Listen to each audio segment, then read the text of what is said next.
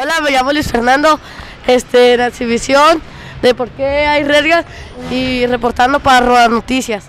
Lo que más me gustó es que les pegan a los, los- de- con la pelota, les pegan a los demás y por eso y me da mucha risa. Eso fue todo, reportando para Robar Noticias